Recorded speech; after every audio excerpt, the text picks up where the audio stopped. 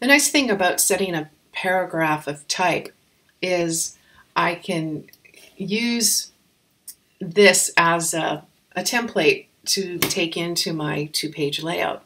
So I can decide on the size, I can proof it on paper, see how that looks. I can set my leading, which is the amount of space between baseline to baseline. It's kind of interline spacing, right? And if I have less, you know, it gets really tight. Oh, and the general rule of thumb is it's usually set at a default, which is usually two points larger than your type size. So, you know, you don't want it too much, right? And you don't want it too little. It's kind of like Goldilocks. So usually two point larger at least. That's the absolute minimum. So I'm going to leave mine at 14. And then the other thing you have to work with is your tracking. And it's always set at zero, and that's never sufficient. So I think a good rule of thumb is to go with 25 and then see how it looks. And you really want to have a little pillow of space around each letter. So, you know, just copy it. And then I'm going to go into my layout, create a couple of my text boxes. I'm going to make a two column layout here, so maybe something like that. And then I can option click and I can duplicate and kind of arrange something like that. And go into my Word document and I'm going to Actually, I have to go back to my Word document and paste that. The rest of my paragraphs, rest of Malia's paragraphs.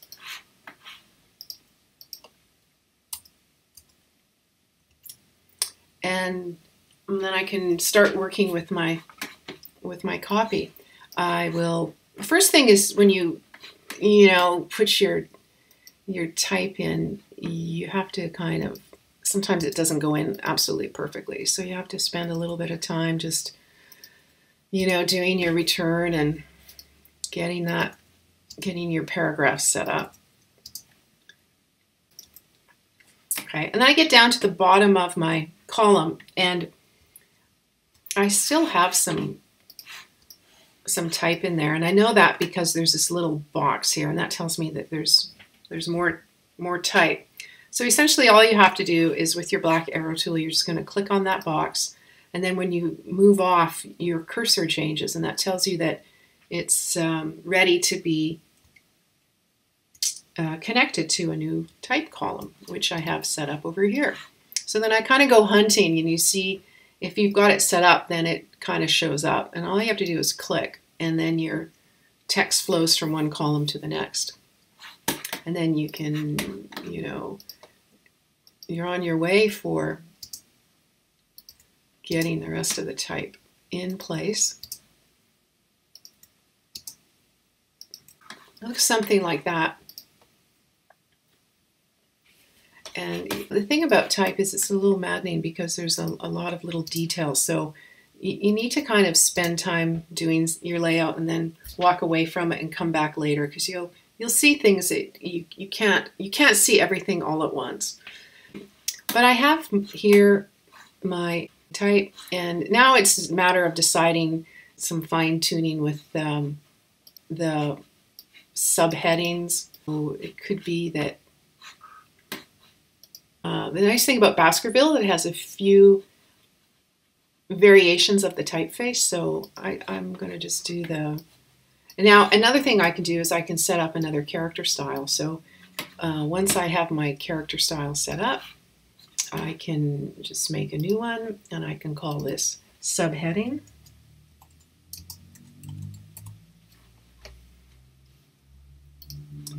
And then it, it can kind of help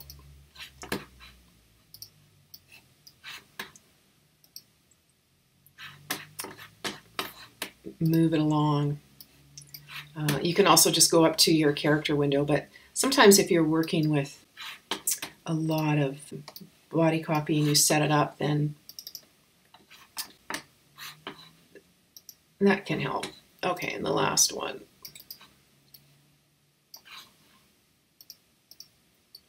I had to click twice to get it to kick in. And as you can see, I've already got my parameters set, so it just, it, really facilitates kind of getting your, your type in there. I'm thinking it's time to deal with the color. And uh, I had in my, let me see here, think my libraries, yeah. It's a nice thing if you take your color swatches and you turn it into a, a library, then you can move it from document to document. So when I look here, you can see that it has a bit of blue in it. I mean, it looks black, but it has some blue. There's a lot of different black. You, you, you don't just have to use, you know, 100% black. You can um, you can use like a, a, a, brown that's almost black, but it's still got brown in it. You can use a really dark blue that's almost black. Right? There is some room to kind of have super good contrast with a dark typeface, but it doesn't have to be always like the same old black. I was kind of interested in uh,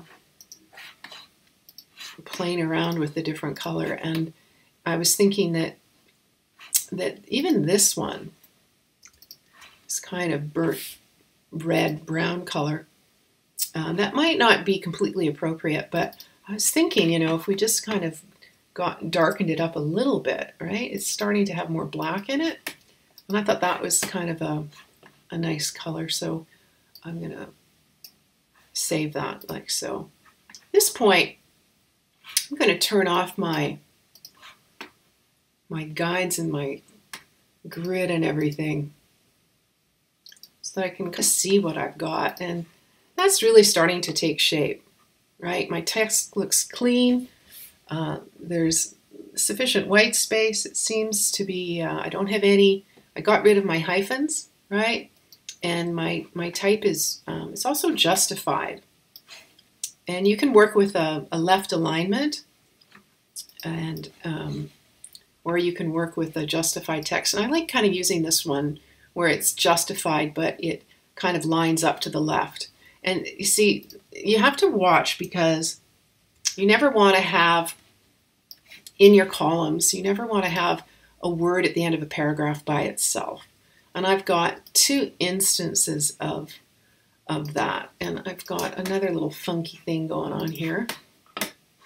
And uh, so I'm going to move, yeah, this one down here. Yeah.